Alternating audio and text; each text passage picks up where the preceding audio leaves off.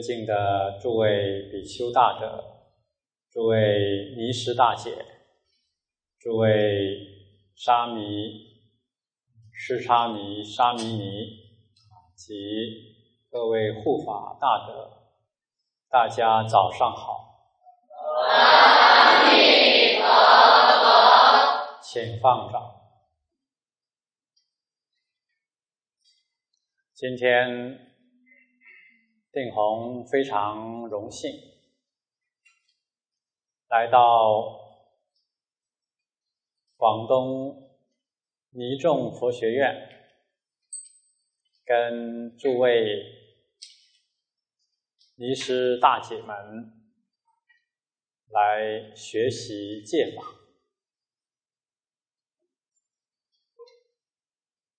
在《华严经》上。佛有啊明确的开示，戒是无上菩提本，应当具足持境界。若能具足持境界，一切如来所赞叹。华严。被誉为是啊，经中之王，根本法轮，一切诸佛所说的法，都不出啊《大方广佛华严经》之外。那么这个圆顿的大教。仍然是啊，强调戒律啊重要。说到戒律，是我们能成就无上菩提的根本。成就无上菩提，就是成佛。佛在《华严经》中说。一切众生皆有如来的智慧德相，但因妄想执着而不能证得。所以，我们众生啊，跟佛是本来平等不二的。但是因为有这些妄想、执着、种种的烦恼，所以覆盖了我们的佛性，令佛性不能彰显。那如何来彰显佛性呢？在《涅盘经》上啊，佛最后的一教。告诉我，一切众生啊，虽有佛性，要因持戒而乃得见。啊，你想见到你自己的佛性，想恢复自己的如来智慧德相，从哪里下手呢？就要从持戒下手，所以持戒是无上菩提的根本，应当啊具足的持境界。什么叫具足呢？就是轻重等持，不能说啊，比丘尼三百四十八条戒，我不犯重戒就好了。轻戒就无所谓了，只持重戒不持轻戒，这就不叫具足持境界，这是不具足。所以要具足持境界，就是要轻重等持，持轻戒如同持重戒那么重视。这才是菩萨。要知道啊，皎如冰霜，沉淀不染，才堪为人天师表，才堪作众生的福田。所以，能具足的持境界啊，是十方三世如来所赞叹。那如果我们不具足的持戒，甚至啊不持戒，那换句话说，不为诸佛赞叹，反为鬼神唾弃啊！像《放网经》上告诉我们。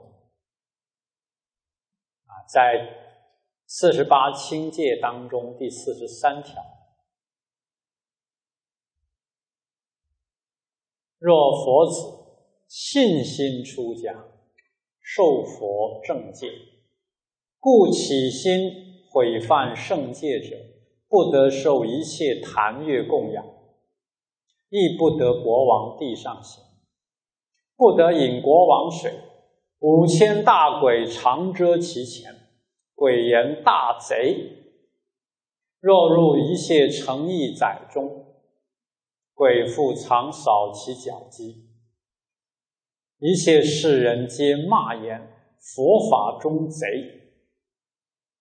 一切众生眼不欲见犯戒之人，畜生无益，木头无益。这是。菩萨戒本里啊，我们半月半月都要诵。可见的，如果不好好持戒的出家人，没有资格接受一切坛乐的供养，甚至这个脚不能踏在这片国土上，连水都不能喝。啊，一切鬼神都会呀唾骂他。啊！一切众生眼睛都不想看他，这种人就是畜生无义，木头无。这是佛在经中啊非常严厉的呵责。所以，我们既然选择了出家的道路，这是啊我们大家都有啊很殊胜的善根，那就要好好的。从持戒、学戒来下手，啊，把戒持好了，因戒得定，因定发慧，啊，这就啊，在佛法上有成就，啊，我们将来要求生西方极乐世界，那么因为戒品清净。决定能得上品上生，所以这是啊，我们这次啊来跟大家讲解的一个缘起。那么也感恩郑辉教务长啊，特别到觉缘寺来请法。为了大家能够啊更重视戒法，啊，这是良苦用心，啊，所以定宏也觉得义不容辞，啊，那么大众师傅们啊，我们的僧团啊，大家也很欢喜，啊，今天呢，啊，都来这里跟大家一起共学。那么大家的威仪也非常好，啊，定宏过去就已经来过两次，啊，对大家的行仪都非常的赞叹。那么在这里啊，我们来用两堂课的时间，把学界的意义和认知啊一起探讨一下。来做共勉。那么根据善见律啊，这个律文上这么说：若比丘尼请比丘说法，若不说八敬法，先说语法，得第五篇的罪；若说八敬已，后说语法，不犯。这佛在戒律上啊，都已经这么规定了。啊。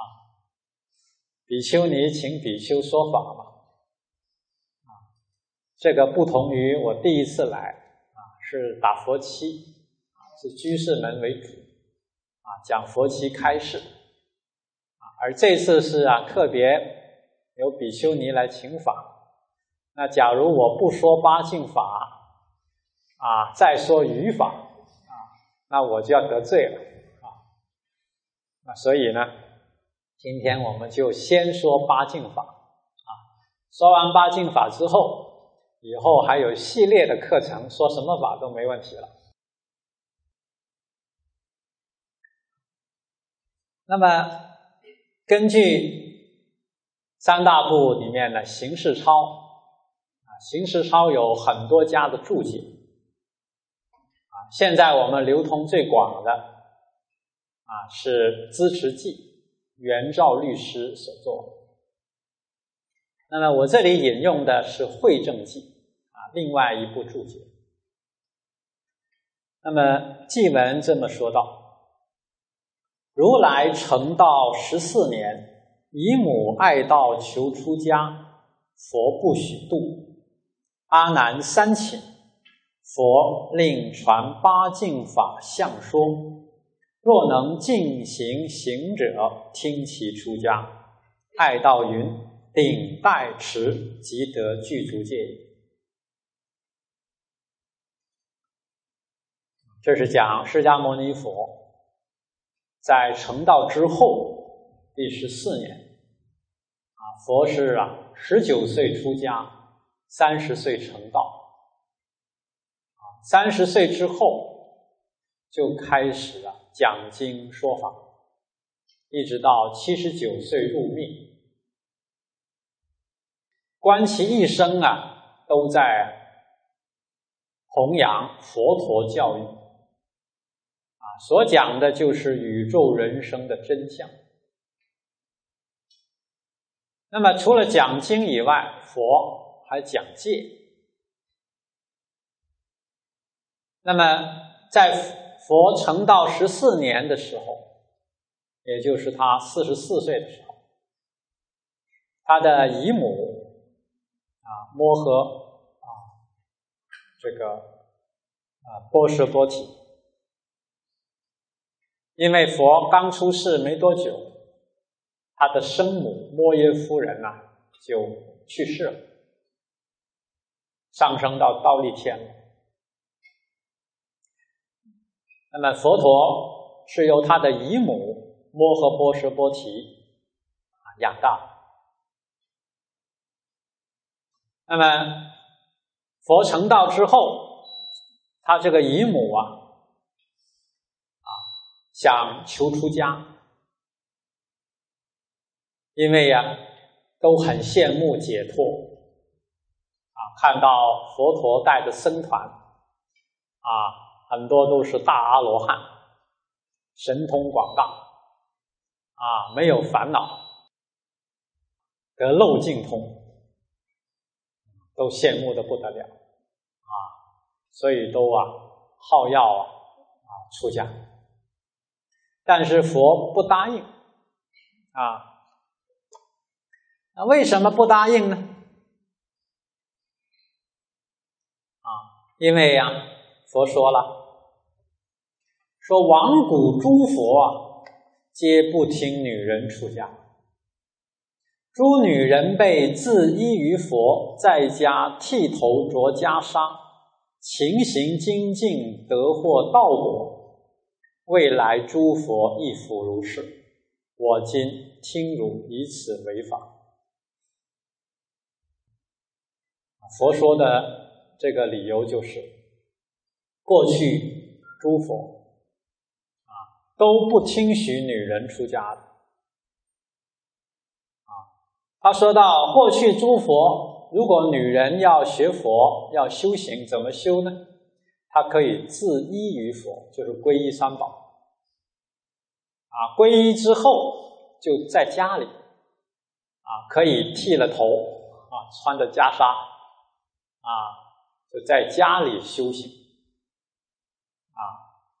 等于是做在家的出家人，啊，那么精行精勤的行道，最后也能得获道果，啊，出果、二果、三果乃至四果，啊，在家人能持好八关斋戒，也能够啊得证阿罗汉，所谓白衣罗汉。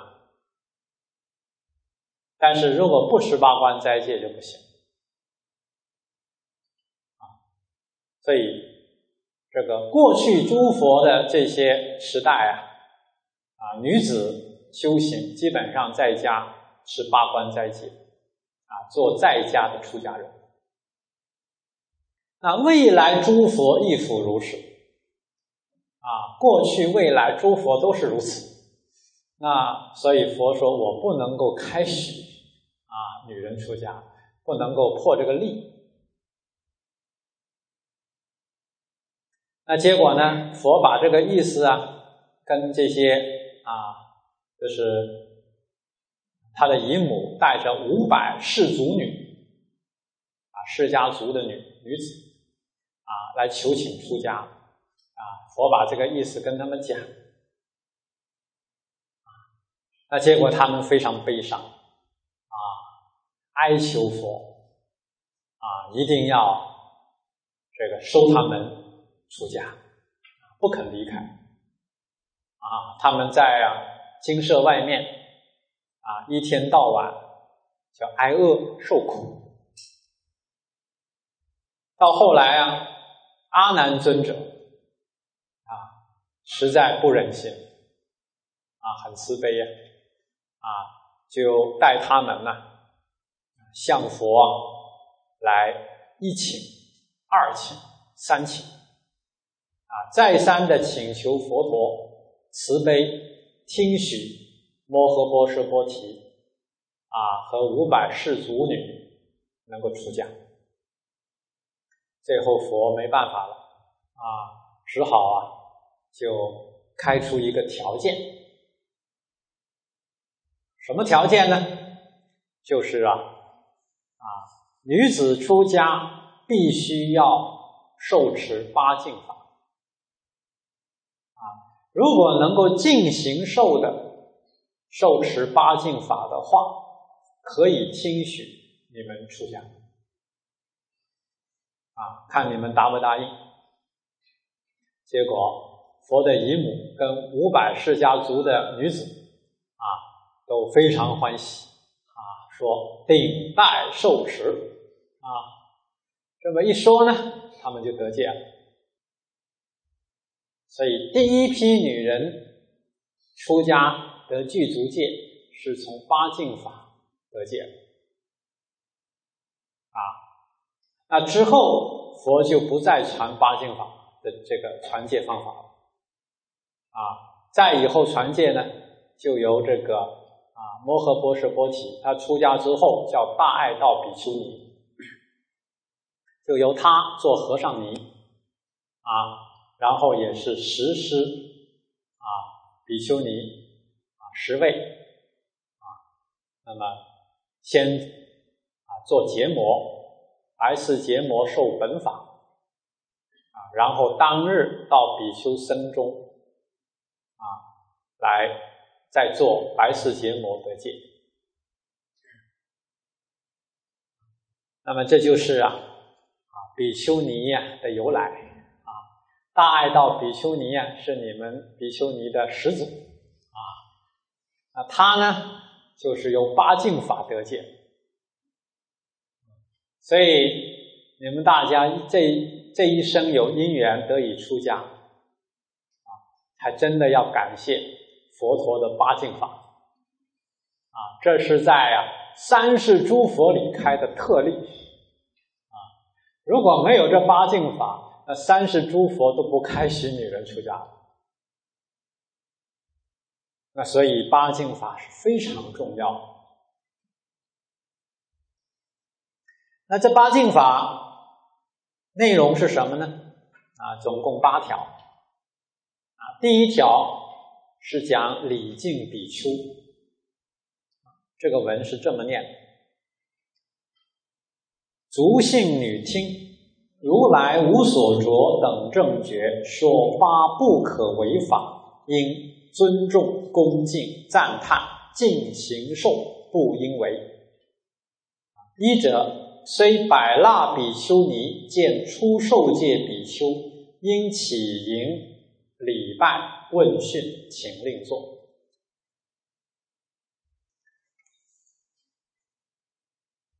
前面一段是总说啊，足信女听，当时就是佛陀对着这个啊他的姨母跟五百世家族的女子啊，所以称她为足信女啊。那么这些女子都是很有品行的女子，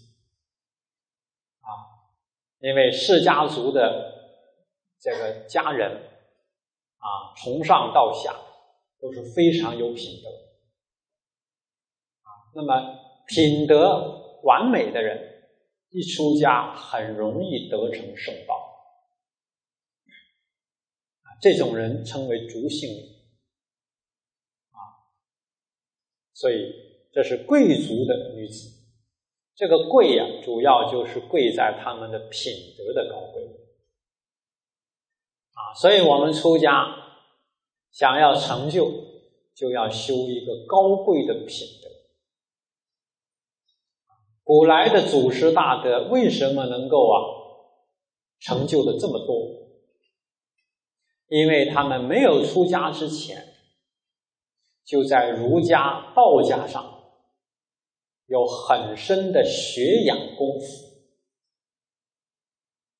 所以德行非常的好。学问也非常好，出家之后，那就一帆风顺，啊，可以开悟，可以正果。那我们如果过去没有在儒道这些基础的做人品行学问上下过功夫，或者下的功夫不够，仍然要多补课。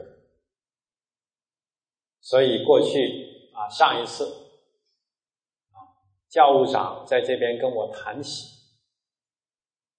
啊，要这个用什么样的课程来作为戒律的基础，我就跟他提出来，要用啊儒家的道德，要用道家的因果儒家讲究啊。这个啊，五伦八德啊，讲仁义礼智信。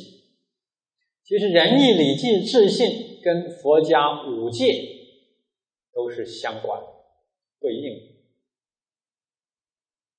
仁者不杀，义者不盗，礼者不淫，不邪淫，信者不妄语。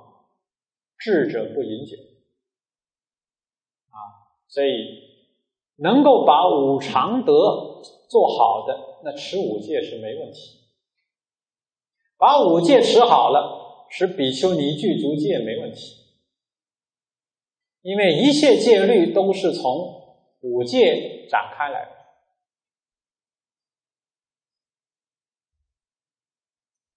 那么道家的因果，像。《太上感应篇》像文昌帝君阴志本啊，《安世全书》里面的注解啊，还有《了凡四训》《于净义公遇赵神记》这些典籍，虽然不是佛经，但是过去印光祖师极力的弘扬，极力的啊流通，这些是救世宝典。对我们修行也是有根本作用，的，不容忽视。你想把戒律真正持好，那道德因果的观念一定要啊非常深刻，不然持戒根基不稳的，遇到犯戒的因缘，自己就把持不住。那么如来这里叫的竹训女，你们听啊，如来无所着等正觉啊，这是如来十号之中的啊三个号啊，就是讲佛，佛说八不可违法，就是八敬法，这八敬法是不可违犯，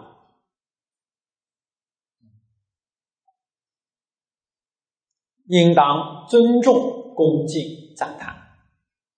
尊重、恭敬是我们自省，赞叹是化他，啊，赞叹八敬法，啊，也就是鼓励别人，也要好好的受持，要尽行受，就这一生不能够违反。那么第一条就是讲恭敬比丘，啊，虽然是百腊的比丘尼。比丘尼二十岁才能够受具足戒，跟比丘一样。那受了具足戒了，成了比丘尼了，再过一百腊啊，那么也就是结下一次就叫一腊，一年就结下一次啊。就算你年年结下啊，那不结下不行，不结下犯三天的罪，比丘尼。比丘犯五天罪，比较少一点。那你年年结下呢？啊，一百腊就至少一百年了。那换句话说，你至少是一百二十岁的人啊。见到初受戒的比丘啊，倘若他只有二十岁啊，一个小伙子刚下了戒坛，你见到他要怎么样呢？应该起来啊。很恭敬的啊，去迎接，去礼拜，啊，去问讯，问讯就是慰问，啊，好言慰问，请令坐，啊，有座位，你要坐着的时候，你一百二十岁的老人还得要站起来，啊，让这个小伙子来坐，啊，这是对比丘的恭敬。那佛为什么要这样制定？这八条啊，都是啊恭敬比丘。那这第一条啊，就是讲礼节上，这个道理很深啊。佛这里绝不是说轻视女性啊。这个你看现在都讲男女平等了，怎么还能提倡八敬法呢？啊，八敬法不就是等于轻视女性吗？那你这样就冤枉了佛。啊，佛陀是大慈大悲，连一个蚊虫蚂蚁都不敢轻视，因为他知道，连蚊虫蚂蚁最极小报体的众生都有如来的智慧德相，怎么敢轻视他？佛见一切众生都是佛，所以《圆觉经》上讲，一切众生本来成佛。那佛怎么敢轻视佛呢？所以绝没有轻视。如果轻视是一种傲慢烦恼，傲慢烦恼是属于见思烦恼的私货，贪嗔痴慢，这个慢。那阿罗汉都已经把。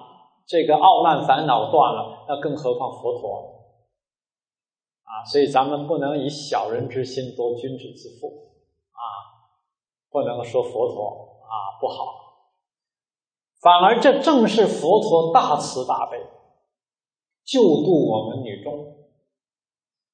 为什么呢？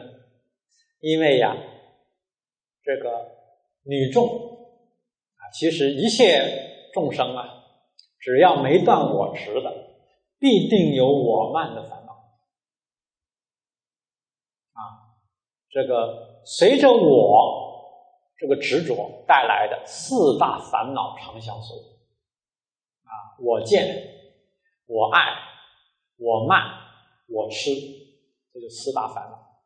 你只要有我，就有这个烦恼。所以。这个，你只要来这个世间，还没有出三界，我慢你是肯定有。而你要出家修道，要成就道业，必定要把我慢烦恼给打破。所谓“我慢高山，法水不入”。而在《大爱大比丘尼经》当中有提到。女众这个傲慢的烦恼与生俱来的，比男众要啊，就平均来讲啊，要重一些啊，才会才会感得女生。所以佛为了帮助我们对治降服这个我慢的烦恼，所以用这种八敬法的法门啊，治这个戒。就是对治我们这个烦恼，戒就等于是抓贼，啊，定就是绑贼了，把贼绑起来。了，啊，开了智慧就是把贼杀了，啊，这贼就是烦恼贼，啊，那假如我们不持戒，那烦恼这个贼啊，根本抓都抓不住，你都不知道自己有什么烦恼。你见了比丘啊，傲慢无礼的时候，你都不知道你自己在傲慢。那么佛一说这个八敬法，第一条，哎，一想到我刚才的举止确实是傲慢，你就把这个傲慢烦恼给抓住，你认识它，啊，认识它，你对治它就方便，啊，所以。这八敬法就是帮助我们对治这个与生俱来的烦恼，啊，我们应当应当啊顶戴受持，啊，这样才有可能这一生出三界。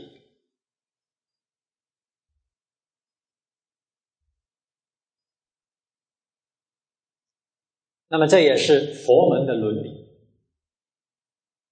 啊，佛门的伦理是讲七重伦理啊。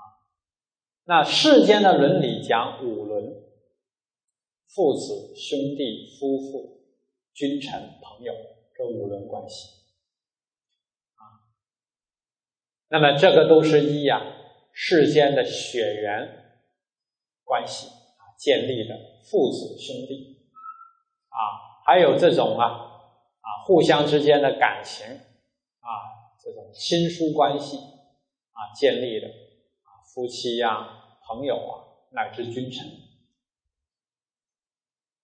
啊，那世间圣人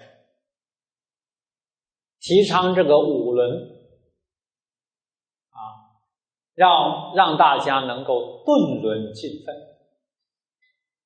啊，顿目伦常啊，能够尽自己的义务和本分，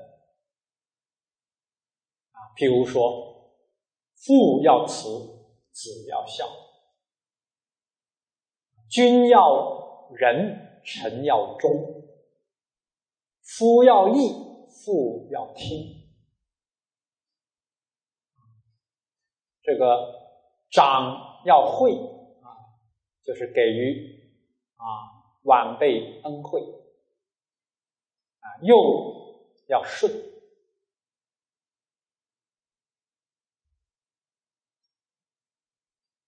那么这些五伦啊，父慈子孝啊，兄友弟恭，夫义妇听，君仁臣忠，长惠幼顺，从五伦就演出十义，十种义务啊。你不管是担任什么角色，你肯定是五伦里面的一个角色。你不是当父亲，就是当儿子啊，就是当女儿。啊，成了家就有夫妻，啊，那家里肯定有兄弟，啊，工作的时候就有君臣，啊，就是领导和被领导，啊，出门就有朋友，你肯定在这五伦当中有一个角色，那你就要尽到自己这个角色当中的义务，这叫顿伦尽分，那么就能令天下和谐。假如五伦乱了，君不君，臣不臣，父不父，子不子，那孔子就说这是乱世，啊，家也乱了，啊。这个国也乱了，天下也乱了。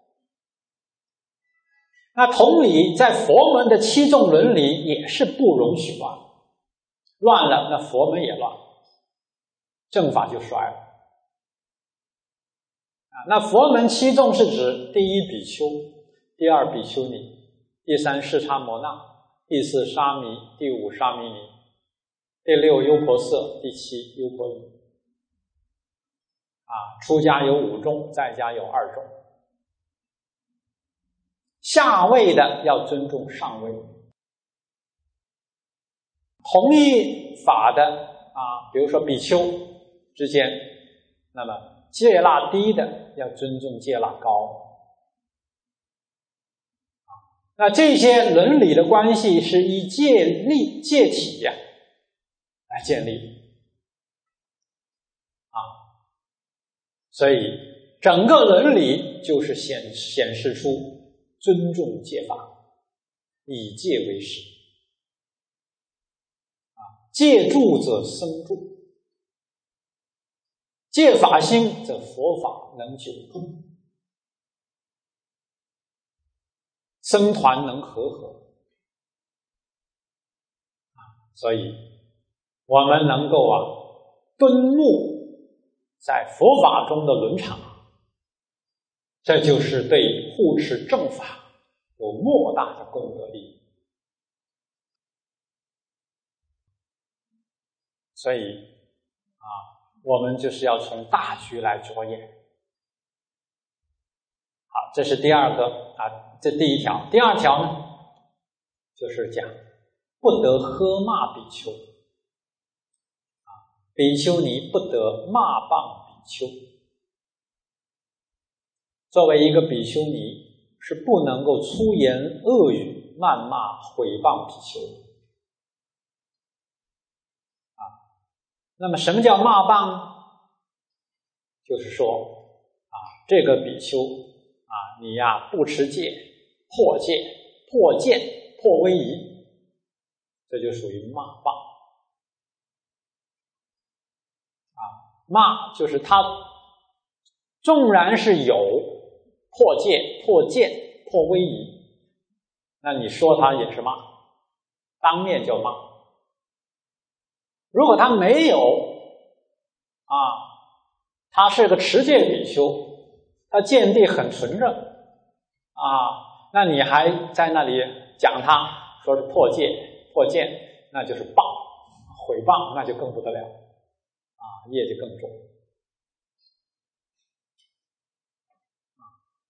那所以比丘尼是不允许这么做，这么做就会得罪啊。所以比丘尼是要维护大僧的尊严啊。那么这样维护尊严，是为了令佛法僧团更加和合。啊令啊社会大众更加尊敬啊我们这个僧团。那么第三条，不得举比丘罪啊，就讲不得举比丘罪，说其过失，比丘得说尼过。啊无论怎么样啊，比丘尼啊都不能去举发比丘的罪，去说他的过失啊。但是反过来呢，比丘是可以举发比丘尼的过失啊。为什么呢？因为比丘是大僧，是七众之首，是僧中的纲领啊。换句话说。他是要同理大众，啊，就包括同理比丘尼啊、释迦摩那、沙弥、沙弥尼、优婆塞、优婆夷啊。那么，如果你要是举出比丘的过失，那就是等于下犯上啊。但是呢，比丘尼有过失，作为比丘就有责任去举法、去劝谏啊。当然，举发过失也也是要有五德啊，不爱、不会、不顾、不吃啊。这个知是不是有犯过啊？不能因为有贪爱啊，或者是有嗔恚啊，举发过失，往往是因为嗔恚而举发，这就不对啊。那么比丘尼之间互相举发过失，也是不能有爱会不施啊，不就是恐怖，施是愚痴啊，还要知道该怎么举发啊，都要如法如律。好，第四条是于大僧中求受大戒，这是讲释迦摩那。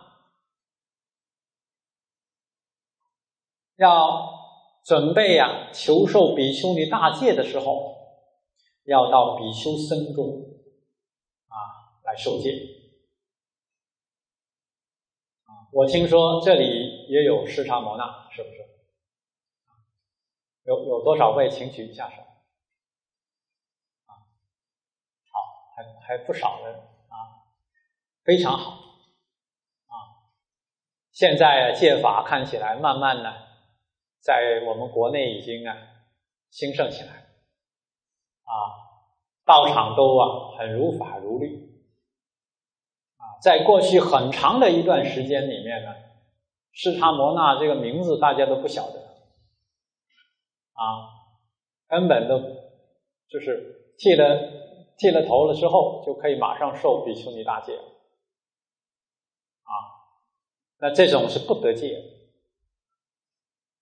啊，因为佛所制定的戒律，就是沙弥尼出家之后，如果满十八岁了，啊，必须要学法两年，啊，先在比丘尼僧中起释迦摩那法，由尼僧为他做白世结魔，啊，那么他才能够啊成为释迦摩那。那释迦摩那呢？这两年当中，啊，主要就是学比丘尼的戒法，啊，除了学四重戒，啊，严持不犯之外，还要学六法，啊，就是不能有染心相处，跟男子相处，啊，这个不能够杀啊畜生。啊不能够到四钱以下，如果到五钱，那就是犯重，啊，就是偷盗的这个啊中品以下的罪都不能犯，啊，还有这个不能够打妄语，小妄语都不可以，啊，不能够饮酒，不能够不啊不能够非时食。就是过中不食。这六法当中，如果有所违犯，那么你你就得从头来过，啊，又来两年，啊，一直到你呀都没有违犯了，才可以尽受比丘尼大戒。啊，当然还要跟着比丘尼学习很多威仪，啊，包括沙弥、沙弥尼也是如此。沙弥也要随学比丘的戒法，啊，如果犯了比丘的戒，那沙弥也是同犯，啊，那沙弥尼、释迦尼也是如此，也要随学比丘尼的戒，啊，也是会同犯，也是要如法忏悔，那么释迦摩那学法期满了。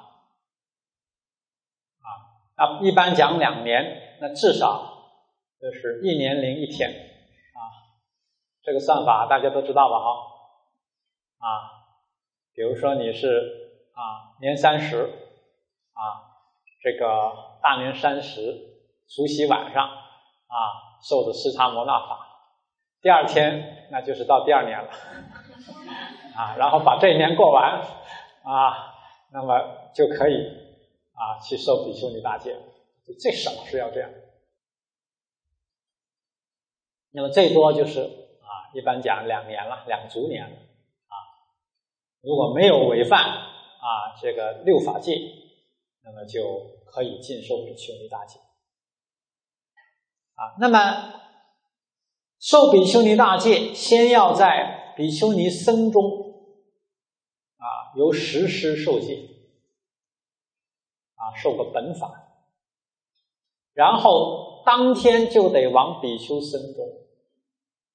啊，再做一个，就是二部僧中一起，十位比丘，十位比丘尼，啊，然后再为你做白丝结膜，让你才能得戒。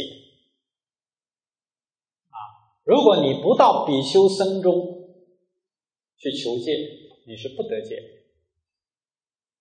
啊，那现在因为我们大家都啊好要学戒律了，啊，随着。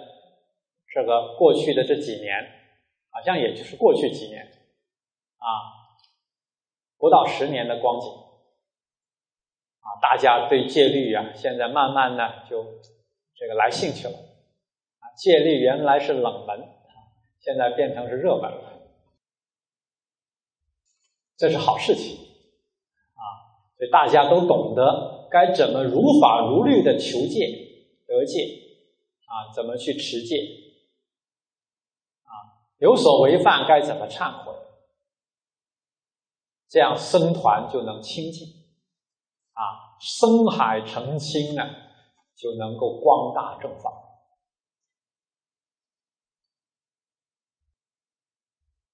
那么第五条，若犯生产啊，若犯这个二篇啊，应在二部僧中半月行莫那多。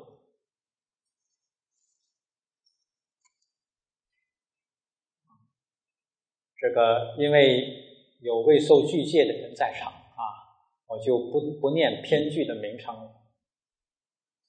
那么比丘尼假如犯了二篇的罪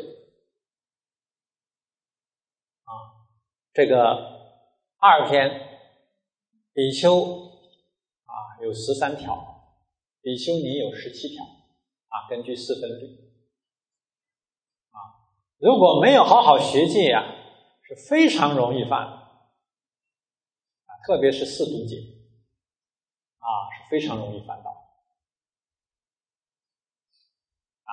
那么，如果犯到怎么办？那就要如法的出罪啊。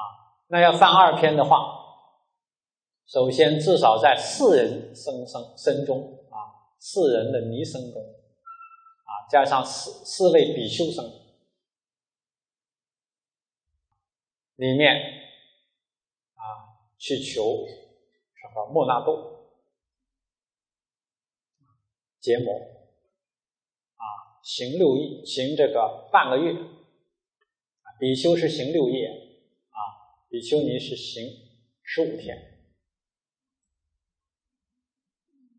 啊。那么比丘呢，如果有复藏的话啊，还要行一个别住法。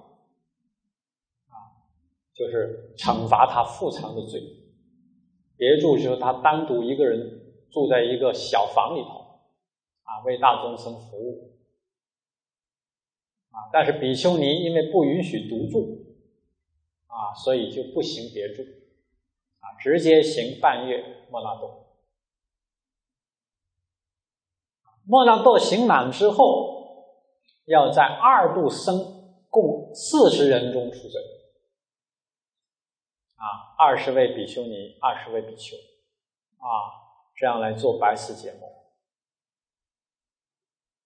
啊，所以这个是很不容易做到的，啊，要凑足这么多的人，啊，大家都如法如律，啊，是一件不容易的事情，啊，而且比丘尼、比丘都要各自的啊结一个戒，这两个戒要重叠在一起，啊，就像我们受戒戒场啊二不生的戒戒场一样。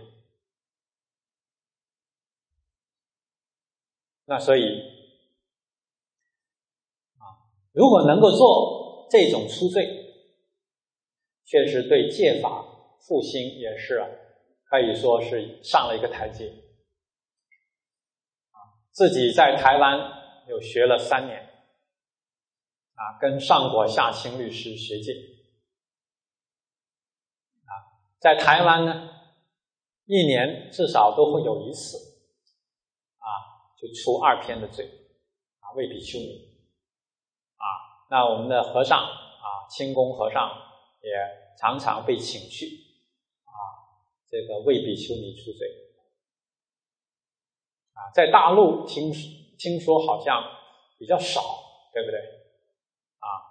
假如我们这边尼众学佛学院啊，将来有因缘，也能行这个法，这是很殊胜。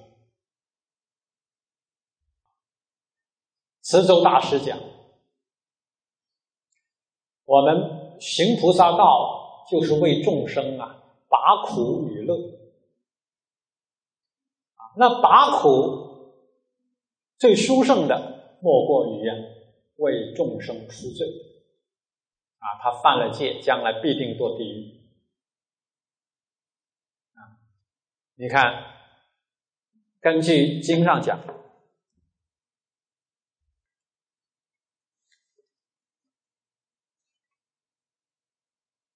啊，根据业报犯罪轻重啊，根据这佛经啊啊，讲到这个业报犯罪轻重，假如啊，我们出家人啊，比丘或者比丘尼，如果是啊无惭愧心、轻慢佛语，犯二篇的罪。就往等于是啊，这个化乐天天寿八千岁堕泥泞中，就是堕在地狱中。化乐天啊，他一天是等于我们的人间八百年啊，就算他也是一天三百六十啊，一年三百六十天，那么八千岁你乘一乘，大概多少呢？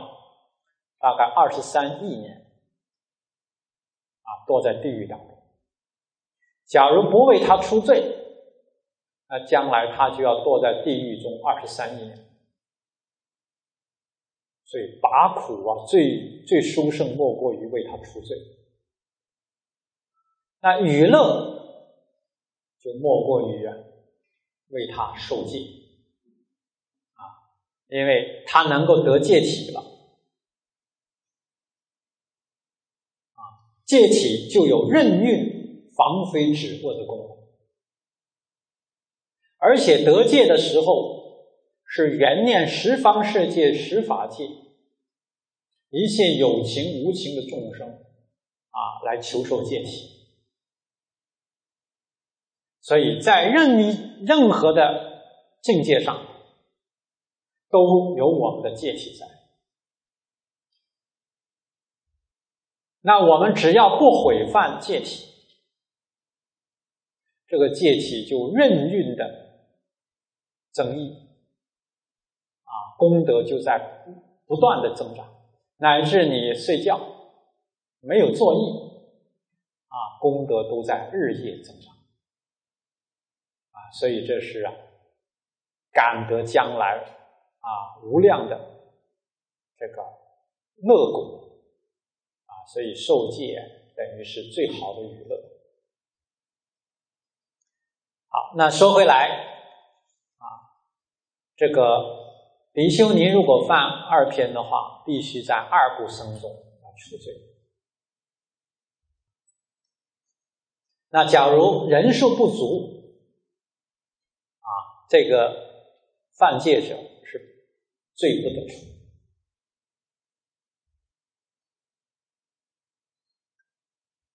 啊，第六是半夜半夜当从僧中求教授人，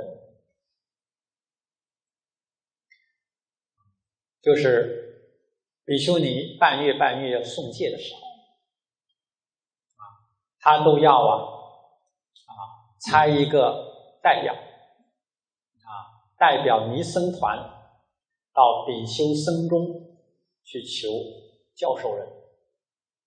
啊来教戒比丘尼。那么这个是要啊，通过做个节目，我相信大家在这里都有做，对吧？啊，半夜都送戒嘛，对吧？送戒前啊，都要差比丘尼到僧中去求教授人。啊，我们僧团这边啊，也是半夜送戒，现在在这个。好像是啊，普宁那边是吧？有一个啊比丘尼道场啊，来给我们求教授这个法很好啊，这个二部僧的法能够兴旺起来，这是戒法复兴的一个标志。那当然，一般来讲啊，僧团都没有办法拆出广教界的人。啊因为广教界的比丘啊，他的资格是不容易达到啊啊，第一个呢，他要满二十腊，这条基本上筛掉很多人了。像我们生产还没有人达到二十腊的啊，哦，对，有一位老法师啊。那么除了二十腊以外，他还有很多条件。第二，他要。戒律具足，啊，他要持戒很精严，啊，轻重等持。第二，他是多闻的，就是对佛法三藏都能熟悉。第三，他要能够诵二部僧戒，啊，不仅要能背比丘戒，还要会背比丘尼戒。所以我当时在学戒的时候，三年前我到。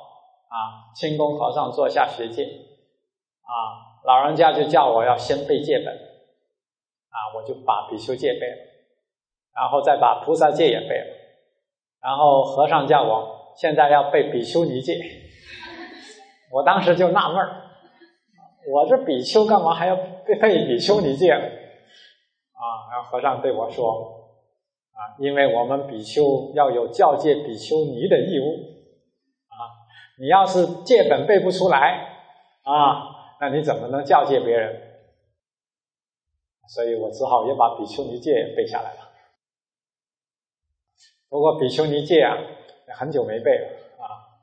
这不像比丘戒啊，常常会复习，还好啊。戒本啊，如果不复习，也很容易会忘啊。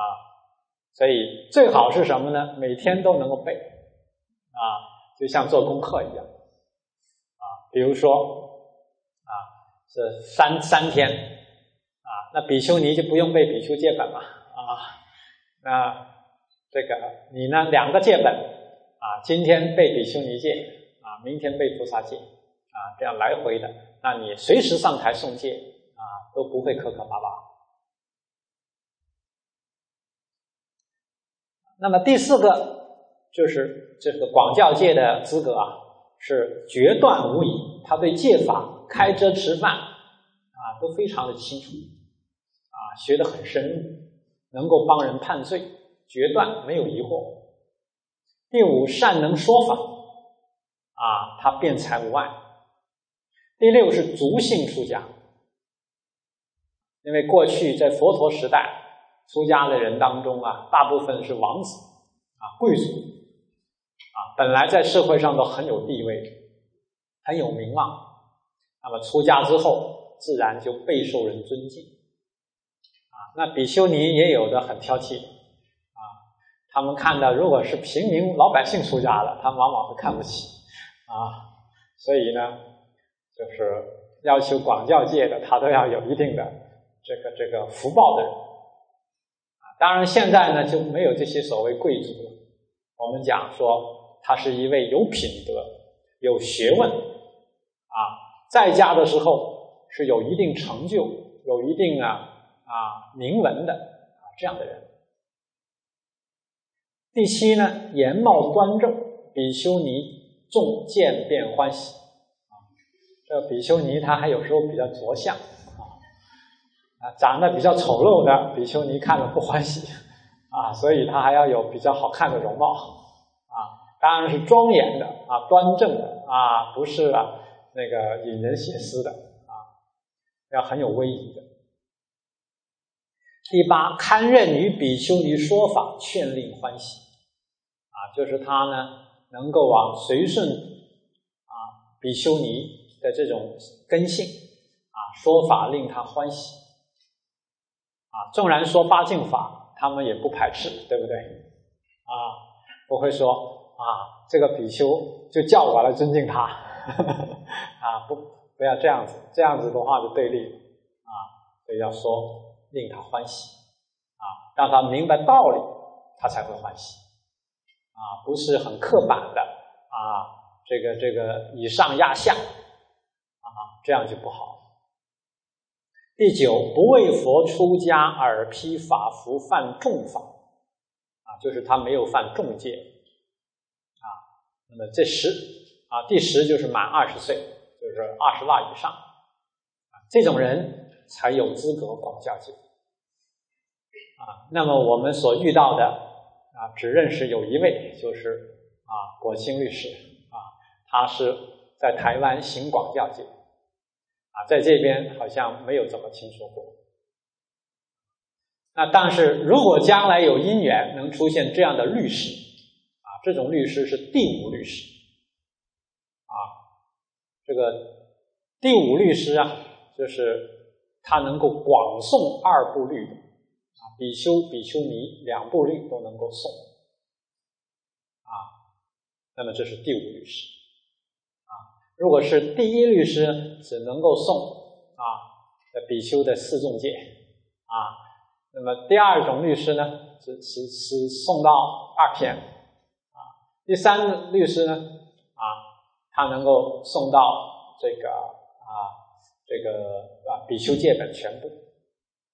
第四律师呢，比丘戒、比丘尼戒戒本都会背啊。第五律师就是广诵二部律，不仅戒本会背，还能够啊把整个律藏通达。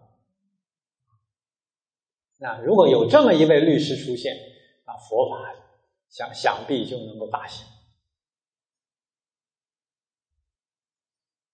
那么，所以一般来讲，僧团呢，比丘僧团呢。通常都是做略教戒啊，那比丘尼来请教戒之后啊，我们晚上送戒的时候啊，一般是知客了，知客就会在僧中白告啊，某寺比丘尼僧和合啊，僧差某某比丘尼，半月半月顶礼比丘僧足，求请教授尼人啊，说三遍，然后送戒师呢。就会在僧中问啊，有没有能够教戒比丘尼众的啊？三问大家都默然，都不敢说话了啊，那就是没有了啊。没有呢，就传一个略教戒啊，就是而比丘尼僧精勤行道，谨慎莫妨意啊。那么第二天呢，那比丘尼再来啊，比丘僧中啊来请问啊，有没有差？这个教戒比丘尼的比丘啊，那么知客就会回答他啊，那么我们这里呀没有堪能啊，就是做广教界的比丘了啊，那么上座啊如律啊为汝等传宣略教戒事啊，就把这句话而比丘尼僧精勤行道谨慎莫放逸传过给他啊，他呢就回到僧中。这个啊，受差的尼师啊，回到自己的尼僧团啊，然后也是吉僧来传这个律教戒。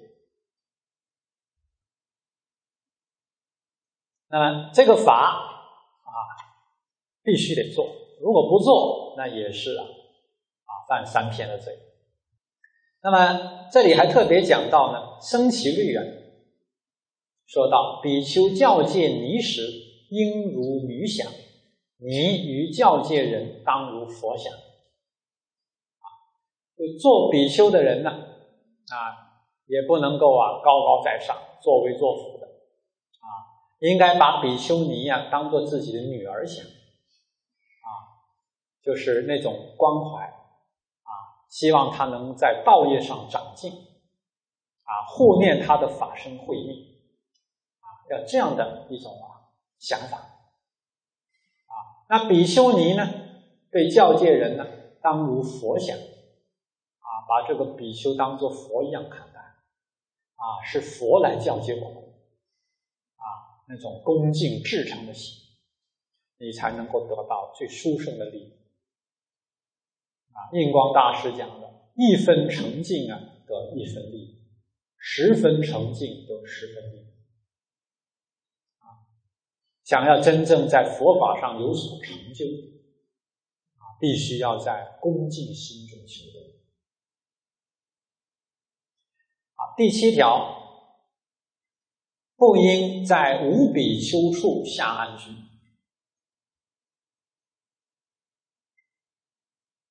那么这是佛所制定的啊，比丘尼呀，一定要在附近有比丘的地方。来结下安居啊？为什么呢？因为比丘尼也是依止比丘来结下安居啊。那么，倘若在安居期间有修行上的问题，就可以呀啊，随时向比丘去请示啊。那么，这个距离要多远才合理呢？律上规定啊，是去比丘住处半由旬内得安居，过者不得。啊，常至僧中咨求教诲，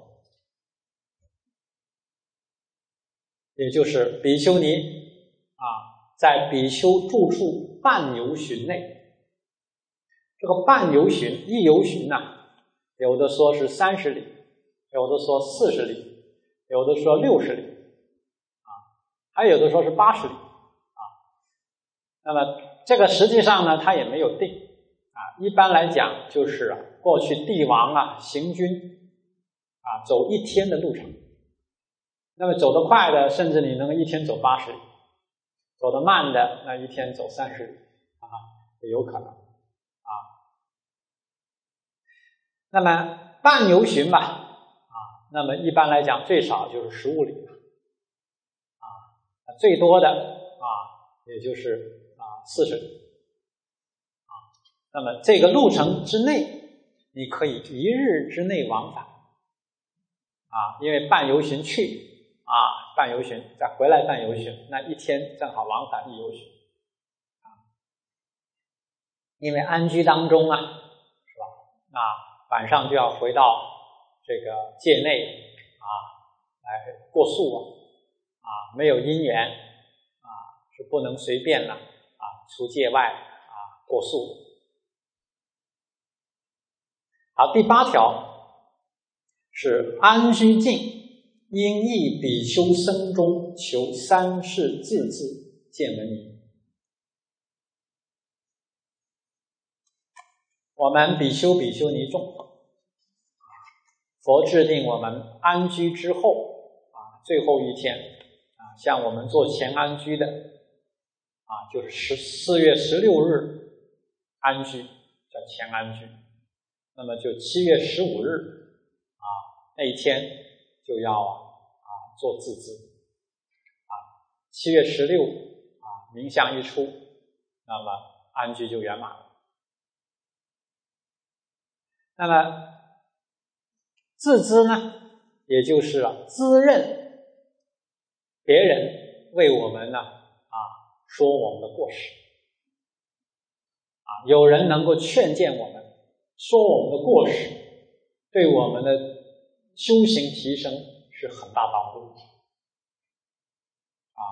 那么佛弟子众啊都应该啊啊用善心、善意互相的劝谏。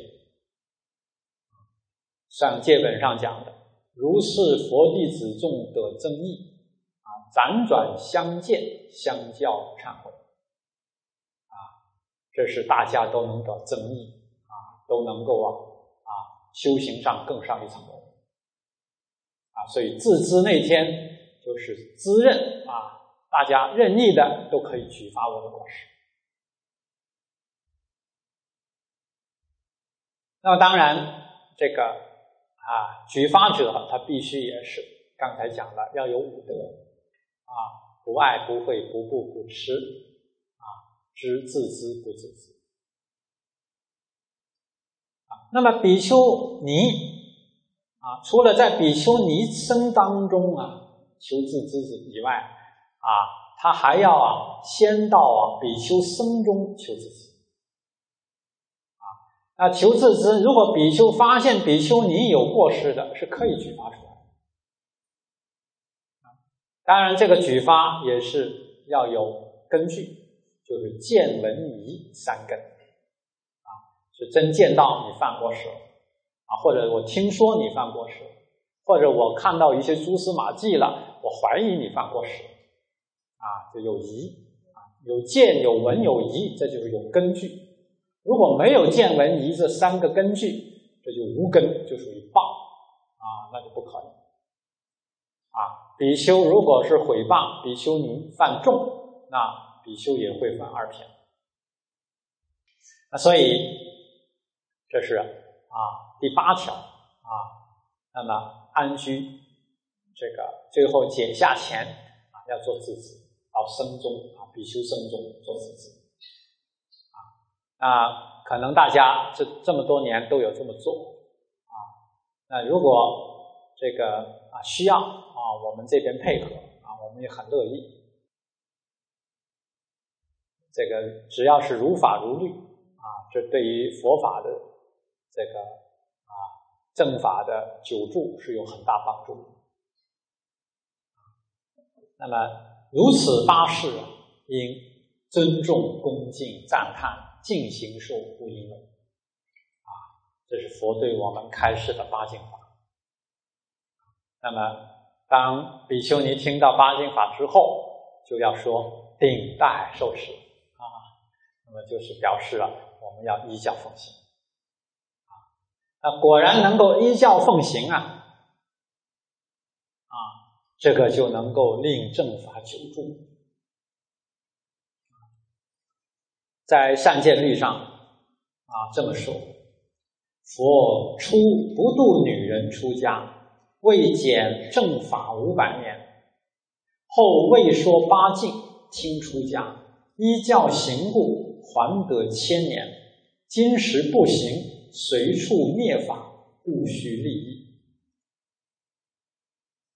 啊，善见律上讲，佛最初就是不不肯度女人出家。不为他受戒，为什么呢？佛讲出来了，因为女众出家正法就要减了五百年，啊，那这些都是事实，啊，佛绝对不打妄语。本来正法是一千年，啊，如果女众出家呢，那佛告诉我们，啊，这个正法就会变成五百年。啊，那其中的原因，大家可能也能猜得出来，啊，因为僧团当中啊，啊，这个假如男女混居，啊，这就会很多染污，不清净，啊，那么女众出家，假如没有好好修八净法，啊，那就很可能。放纵自己的烦恼习气啊！那在末法时代呢，出家里面呢，啊，比丘尼通常学的是很好啊，比如说学戒律，我走过很多地方，发现呢，比丘尼学戒的这个兴趣啊，啊，比比丘还要浓啊，确实有的学的比比丘还要好。但是学学得好，假如就以此作为傲慢的资本，那就学错了。这不是戒律的精神啊戒律是学到最后啊，是寂静调柔。啊，如果我们越学越傲慢，觉得你看我懂得戒律很多，我能持戒，啊，你们都是犯戒，啊，那就麻烦了。这就是跟修道背道而驰。所以慧能大师在《坛经》里讲啊：“若真修道人，不见世间过。”你真正在修道，不能见世间人的过失，不是见不到他有没有犯戒，我心里是清楚。我不是真的看不见，我看不见是我自己愚痴啊！我看见了，但是不放在心上。对他尊敬，还是如同敬重佛菩萨一样。像印光大师讲的：“看一切人都是菩萨，唯我一人实是凡夫。只看好样子，不看坏样子。你这样才是真修行，才是真持戒啊！那所以佛也是啊，看到这些情形。”所以才不不让女众出家，啊！但是因为呀，他的姨母对他有养育之恩，啊，而且又这样的恳切的祈请，所以佛才开始为他们说八敬法，听许他们出家，开了这个先例，啊，而。如果比丘尼能够啊认真的奉行八敬法的话，正法又能还得千年。所以，假如比丘尼不行发八敬法，那么随处就是灭法了。所以呀，啊，律上啊。就是提醒我们要不虚利益，要好好的策立自己，啊，为正法久住，啊，我们就要力行八正法，这是尊佛所教，啊，这才是真正的啊佛的好弟子。那么，在《狮子月本》呃，《狮子月佛本生经》里面呢，有一个重要的记，就讲到：若有比丘尼不修行八敬，此非是种女，犹如旃陀罗。说若有比丘尼不肯受持八敬法，啊，现在还真的有人提出。八敬法就不是佛说啊！你们有没有听过？啊，好像有吧？不要听他的，啊，这是魔术啊！就台湾就有这样的啊，还吵得轰轰烈烈啊，说八敬法是歧视女性啊，不是佛说啊，就跟讲大乘非佛说一个论调。而且他的这个这个枪口直接对准的是戒律，啊，因为戒律要是毁了，佛法就跟着就毁了，所以这真的是魔啊。那如果比丘尼不修行八敬法的话，这个就不是世种女呀，啊，就不是世家族的女女子。那我们就是意思就是说，我们出家就叫世子啊，啊，那换句话说，就没有资格做世子，做佛的弟子，啊，那基本上就是属于魔外，啊，那犹如旃陀罗，旃陀罗是指下贱之人，啊，所以你能修八敬法。才是尊贵之人啊，就像水一样，上善若水，水都往低处流啊。那么能往低处流的上善它很调柔，啊，流到哪里，流到方形的池子里，它就是方形的；流到圆形圆形的池子里，就是圆形。它自己呢，没有执着，上善。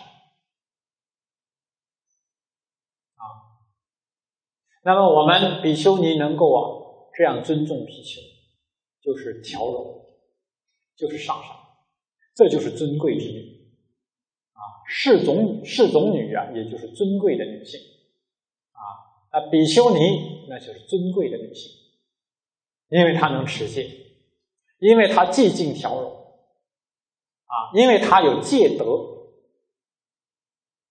啊，所以不仅人尊贵，一切天龙鬼神都尊贵他，尊重啊，爱护拥护他，他可以做人天表率。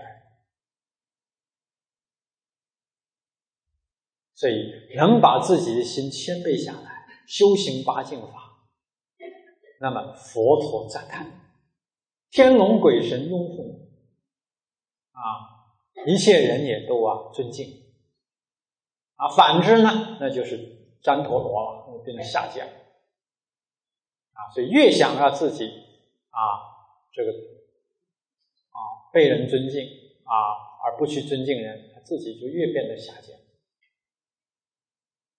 所以八敬法是非常重要的。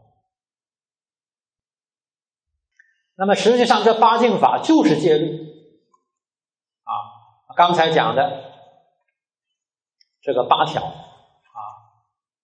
第一条就是要恭敬比丘啊，要这个起迎啊，礼拜问讯请令坐，这就是三篇里面第一百七十五条啊。大家对戒本都应该很熟悉了啊。那第二条呢？不得骂谤比丘，是三篇里面的第四一百四十五条。啊，第三条呢，戒本上没有啊，它是出自中本起经啊，中本起经的第五条。啊，那如果违犯，这就是犯五篇。啊，第四条八敬法？啊，刚才第三条啊，啊，就是说。啊，不得举比丘罪的啊。第四条呢，要在僧啊，就是大僧中求大戒啊。这是比丘尼戒本的三篇一百三十九条啊。第五条就是出二篇罪，要在二部僧中忏啊。这是这个比丘尼戒本里面规定的那个忏法啊。如果有所违犯，就犯五篇的罪。那第六条就是半夜半夜到大僧中请教授，这也是啊啊第三篇当中一百四十一条。这个第七条就是节下必须依大僧啊啊，这是三篇里面的一百四十三条。啊，第八条呢就是啊在僧中。求求自知的，这也是三篇里面的一百四十二条啊，所以这都是戒法所规定啊。如果有违犯，那就是违反戒法。那我们呢，能够尊敬啊，受持八敬法，那就是这个很好的来护持戒法。那么这个八经法呢，啊，到这里呀。就跟大家啊讲解到啊这里，算是啊圆满了。那么时间也到了啊，下午呢啊我们两点钟还有一堂课就正式跟大家做一个测例啊，鼓励大家呢啊好好学界啊，认识学界的重要意义。好，谢谢大家。